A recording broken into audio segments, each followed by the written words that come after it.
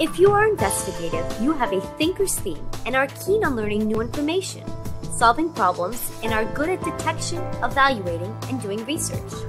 It means you can be inquisitive, observant, intellectual, logical, analytical, introspective, and scholarly. With a thinker's personality, you like to explore a variety of ideas, work independently, do research, deal with abstraction, and be challenged. You value science, understand scientific theories, and are good at understanding, studying, and solving systematic problems. You see yourself as intellectual, precise, and analytical. Your hobbies might include crossword puzzles and board games, collecting specific items like rocks, stamps, or coins, visiting museums, astronomy, preserving endangered species, book clubs, and working on computers. Some examples of people with an investigative personality are medical professionals, engineers, archaeologists, anthropologists, computer system analysts, and scientists.